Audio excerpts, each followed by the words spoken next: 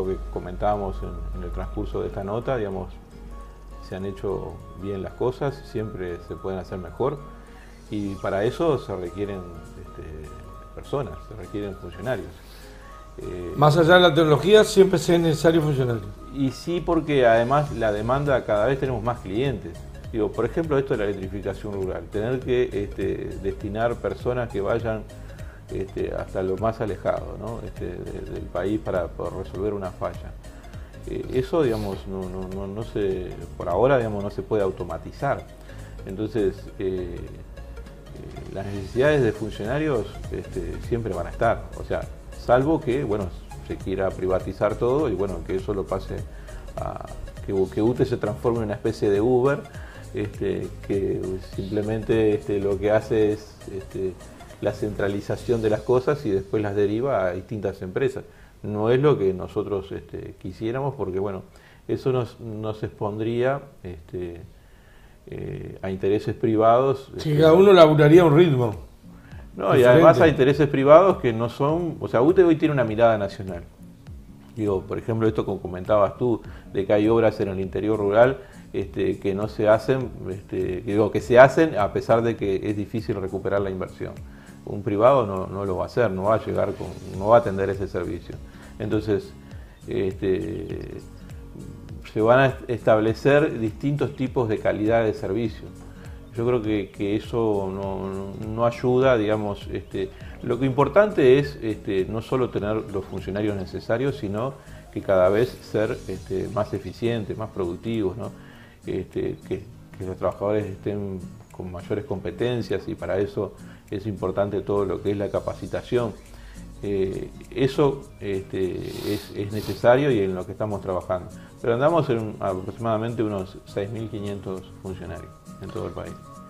¿Cómo está el tema de, los costos de mi servicio? Comparativamente, ¿cuánto estoy pagando Néstor Carlos Yorca Cedré? ¿Cuánto está pagando de luz comparativamente con 20 años? ¿Cuánto se ha disparado? ¿Cuánto está más barato? ¿Cómo estamos ahí? Bueno, nosotros digo, a, raíz de lo que fue... Me pregunto porque he escuchado cosas. Claro, ¿no? a, raíz de, este cambio revolucionario en la matriz energética, donde hoy, por ejemplo, el, el 98% de la energía que se consume en el país es de origen renovable. El 98% es de origen renovable, es decir, de las usinas de agua Claro, el 50%, el 50% eh, proviene, o sea, la energía generada en el año proviene de las centrales hidroeléctricas. Después un 38%, estoy hablando de datos del, 2018, al cierre del 2018, un 38% de energía este, eólica y bueno, el, resto, este, salvo ese 2% que todavía sigue siendo este, de energía, digamos, que utiliza combustibles fósiles, este, es solar o, biomasa. Eh, inclusive eh, hasta, el, hasta el 2007 teníamos 2.000 megavatios de potencia instalada y ahora tenemos 4.800. Y la mayor parte de ese incremento fue en, energías renovables. Eso, ese cambio nos permitió este, varias, varios beneficios. Desde el punto de vista medioambiental, sin duda, digamos, ¿no? menos emisiones de, gases de efecto invernadero. Desde el punto de vista de la seguridad del abastecimiento, sin duda, estamos exportando. Eh, y desde el punto de vista de los costos de abastecimiento también bajaron. Como te decía, hubo que hacer una inversión muy importante, en el caso de UTE, unos 3 mil millones de dólares en, en el periodo de 10 años. Eso este, hay que amortizarlo, o sea, hay, que pagarlo. Eh, pero a pesar de eso, en esos mismos 10 años, a pesar de que se hizo una gran inversión y, se tuvo que destinar 3 mil millones de dólares, en esos 10 años las tarifas en promedio, comparado con el, IPC, ah. bajaron un 20, un 21%. Comparado con el IPC. Claro, con, respecto al, al índice medio de salarios, porque los salarios en Uruguay subieron en, estos 10 años un 28%, todavía este, la rebaja es mayor, estaríamos en un 48% con respecto a los salarios del país.